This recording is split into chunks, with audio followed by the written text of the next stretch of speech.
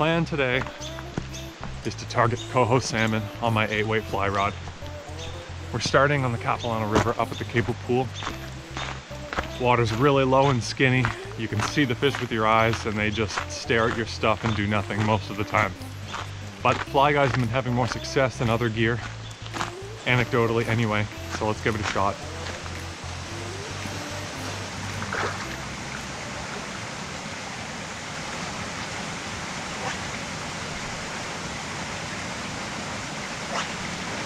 Guys, I was just casting and doing fast strips and I had a, a small fish follow and then hook on for about two, three seconds. I don't know if it was it was either like the smallest jack coho in existence or a resident rainbow. I think it was a rainbow. But that's the that's the first hookup I've had here in months, so that's exciting. I just wish you guys were on. But it, it gives me uh, a lot of confidence in my fly, the jig sculpin pattern that I'm using today.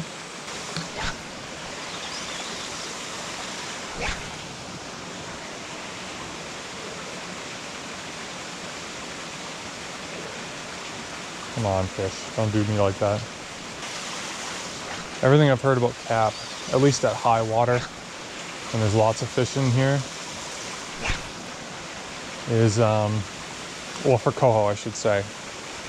It's get it deep and then very fast strip retrieve. Now, I'm wondering if anyone in the comments can let me know.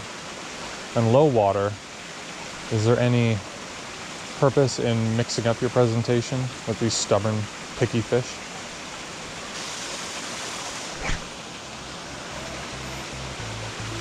Yeah, I think one of the mechanical issues I have when I roll cast is as, I, as I'm pushing forward, I tend to dip my um, the tip of my rod toward the water too soon. I think with a roll cast, you're supposed to keep the top parallel until the end of your forward motion of your like arm and elbow, and then dip it at the end. And I think that's how you get a nice smooth distance roll cast. I think there's like a Rio video on that. Whoa. That one launched. He's got energy. Why don't you come and uh, give me some of that energy?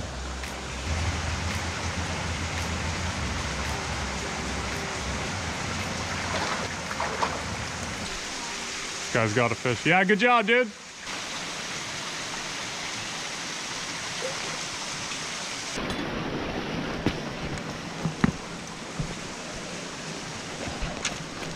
If you want a hand, I'm here. Ah, oh, shit. Well, you got a good fight out of him. He lost it, boys. I gotta go get my fly. Bob, your fly came off on a rock right in front of where I was fishing. Let's go get it. While searching for Bob's fly, which I think I found, I was gonna grab the stick and try to pull it toward me because it's too deep. And I found what looks like a cat bugger, a UV bugger in here. So let's try to clean this up a little bit. Recover this fly. Okay, so that's more like a a jig, which it's a good sized jig. I could probably toss that on my 8 weight. Okay, let's go get Bob's fly back though.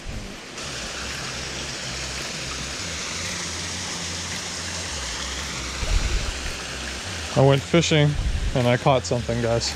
Recovery mission complete. Let's go. All right, we're back in action. Uh, one thing I forgot to mention is when I got down in the water here, um, it's water is almost always deeper than it looks, and that is also true right now. So I'm in like two feet of water, or two and a half feet, that looked like it was about a foot and a half. So out there, where I think my fly is getting down in the fish's face, it's probably not. I only have a short seven foot uh, sink tip section and then about three feet of tippet off of that. And the way that you have to strip these flies, I'm probably not deep enough for very long. Once I start stripping quickly, I'm probably raising that fly up in the water column outside of the ideal zone. So I might have to put on a split shot and then I'll stay in the zone longer on these uh, strip backs. I just got to be a little bit careful when I let it sink, that I don't let it sink too, too far and then lose this beautiful, beautiful fly. Holy salmon, Batman. You guys want to make a prediction what the temperature is going to be in the cable pool in the third week of August? 12 Celsius, 52 Fahrenheit. I found some other trash Maybe there's some treasure in here, I don't know. There's a whole bunch of hooks in here. That's just silly. Alright, taking that home. These fish are jerks.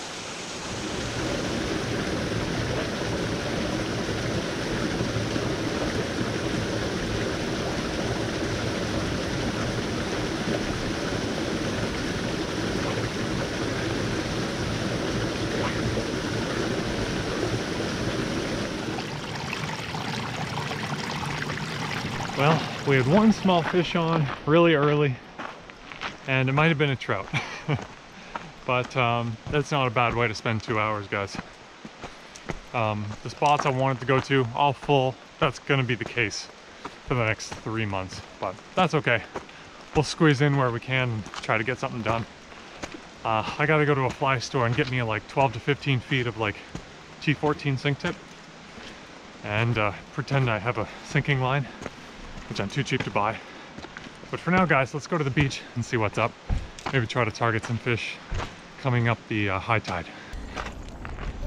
Okay, so the tide's on the way in. I was talking to a guy at uh, the hatchery parking lot who watches my videos, which is cool. Nice to meet you and chat with you, dude. He also had a, a GoPro on, so hopefully he's gonna make some videos, but he said him and uh, a couple of people he was with were fishing this this morning. They saw three people catch over the course of the morning. So not a ton of action, but yeah, I'm surprised how dead it is. I guess a lot of people have gone home already.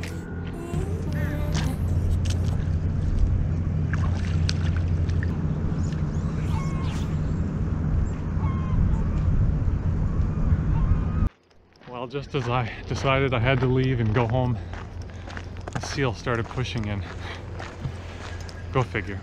You're finding fish, congratulations, I'm jealous. but uh, there's always hope for next time.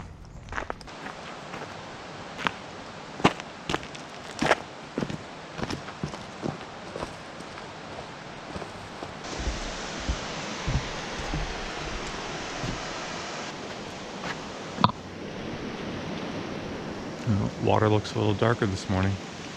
Let's go throw off this rock.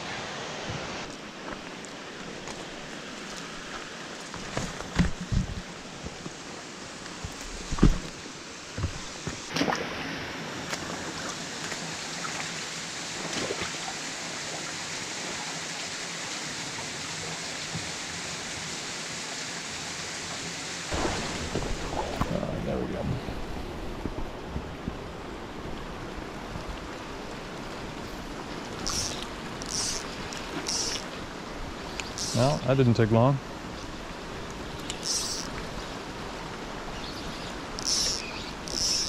So I'm going to try to catch a salmon today. I'm up at the Cable Pool on the Capilano River. Um, still hasn't rained and it's uh, the last week of September, but I don't know. I just kind of wanted to check out here. I haven't been here in a month. Um, not many fish have run up. For some reason, the fishing was good here last weekend. I don't know why, but I just heard that anecdotally. I'm trying something new today, and that's kind of why I wanted to come here so badly. I bought this blue-colored T14 sink tip. I bought 15 feet of this stuff, and it sinks way faster than my T8.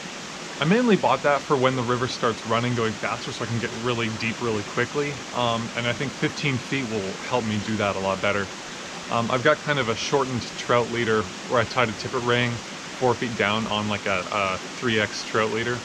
And then I'm just running eight pound uh, mono off of that tippet ring down to my fly. So that's what we're trying this morning, guys. Um, it's low light, so I should be fishing while the fish might still be biting. Let's go. Hi, Bob. This is your Trout Flies Jig Sculpzilla. That's what caught me in my last coho. Video link up here. Actually, hold on. What's your POV? Video link up here. Let's see if we can get it to work again. I don't want to lose it. I'm sorry if I lose it, but I want to try to catch a fish, my dude. Okay. That's just rude fish. Part of today is to see how well this thing can cast.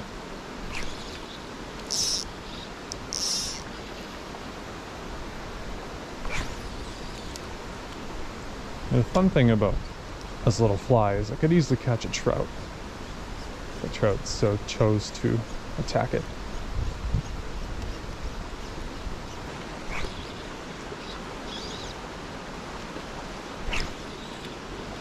Oh yeah.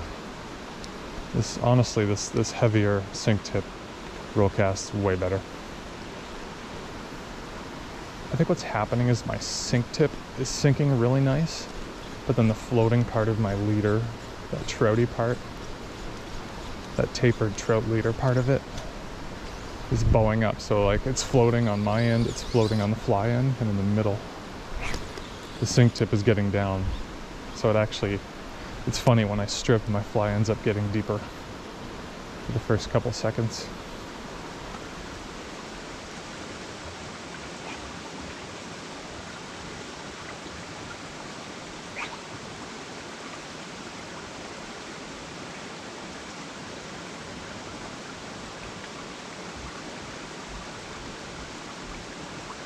I've just discovered a problem. My jig sculpin has no hook point. I must have snagged it on one of these rocks when I was casting or something.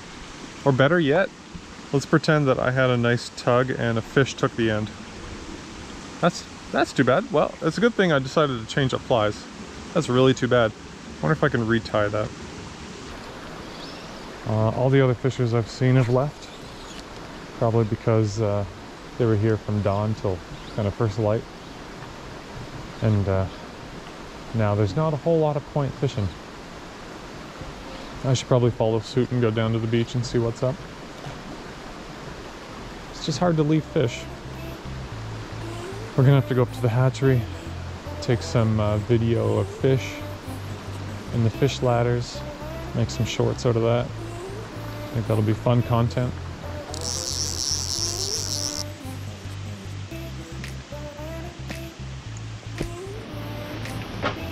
Part of a film set. Is it? Drip coffee, $4. Brownie, 450 Scone, 375 Eh, it's a little pricey. I wish it was real.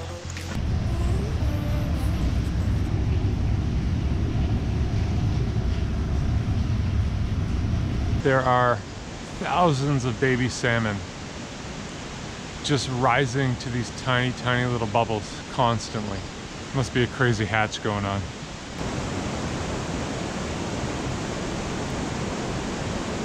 Think it's probably a midge hatch going on. This right here is the start of the fish ladder. And I go up here into the hatchery. I just saw some salmon jumping in here. That's cool. They're trying to get up this little waterfall, little dummies. Okay, so we tested out the cable pool, saw some fish flop. That's always fun. No one was catching, everyone left, so I'm leaving. Um, I experimented, tested that uh, 15 foot of T14. Um, that experiment was definitely worth my time because I learned some things about how it performs, how it roll casts, and what I need to do differently when I'm fishing faster water, which is add some split shot on the end, probably figure out a better leader on the end because uh, four foot of floating taper trout leader not, not really the right idea. but hey, I'm trying. Let's go try to find a coho on the beach. I'm gonna use this pink fly. I picked that up along with four other flies at uh, Pacific Angler, which is the first time I've been there. I went last weekend. Um, met some cool people, and uh, yeah, it was a fun time. I'll throw in a little picture of the five flies I picked up. Didn't really need too many, just wanted something I could throw in the ocean, something nice and pink. Try to catch me a coho. Uh, not so good news. I chatted with a guy for 10 minutes who said uh, there was no rush to come out here. And then another guy drove by on a bike and said, I need to pray to Jesus Christ. So, seems like it's not very fishy this morning, but what the hell? Let's give it a go. I see a guy in an inflatable with a little boat sitting right over the pot of fish, making all these guys casting look bad. What a jerk. Let's go fun in the waves.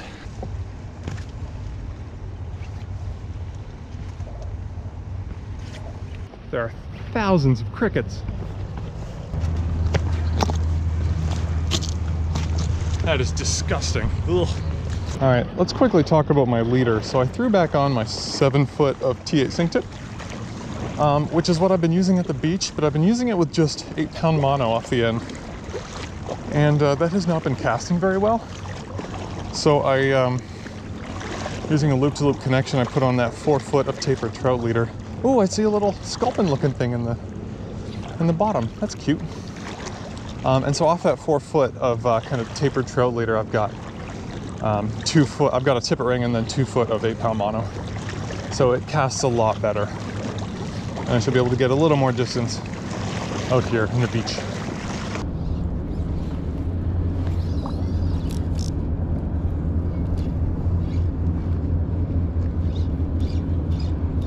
God, this is pretty.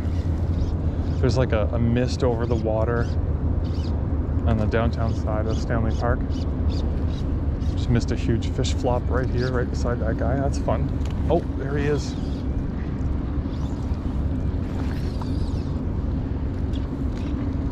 Oh, they're popping off. This is a prime time. This is what I was hoping for. Seals right there.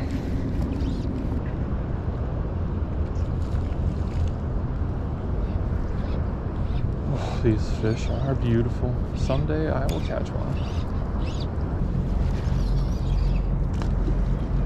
Okay. Big fella. Probably gotta leave in five minutes.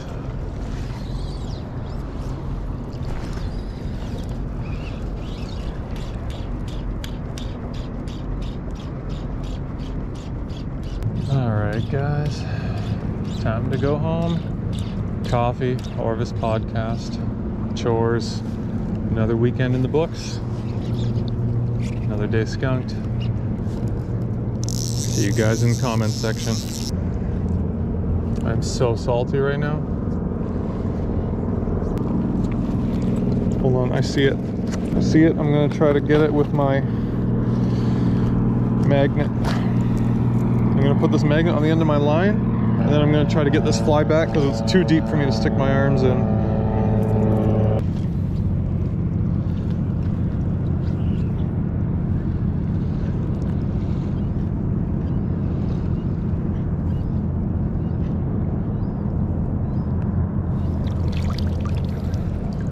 When a plan comes together, I feel like a genius. Let's go home, guys. I think next trip might be kind of feeling like some Stillwater stuff, some Rice Lake. You guys want to see some Rice Lake video? Maybe we'll go back do some uh, fall trout fishing. Unless we get a bunch of rain, then I'll go in lower cap. Anyway, until next time, guys, take care of yourselves and good luck fishing. Bye.